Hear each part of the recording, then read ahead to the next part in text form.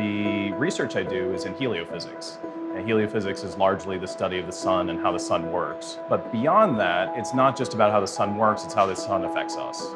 Most of the data that I work with on a day-to-day basis are images. There's a satellite in orbit called the Solar Dynamics Observatory, and it takes an image of the sun about once every 1.3 seconds.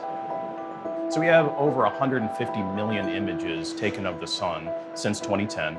Those images need to be processed. They need to be identified features, they need to be tracked, how they move. Being able to go through all of those images in a conventional computing platform uh, with a CPU, for example, it would just take ages and ages, years uh, even, to ask one question. We have thousands of questions we want to ask.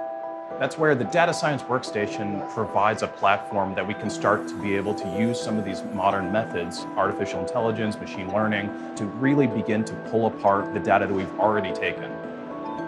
The holy grail right now of a lot of solar physics work is to be able to make predictions. Predictions of when a solar flare will erupt, when the solar activity will be high and how high. If we can make those predictions, anybody that has a satellite in orbit, any company that has a satellite in orbit, they can take precautions to protect their satellites from incoming space weather.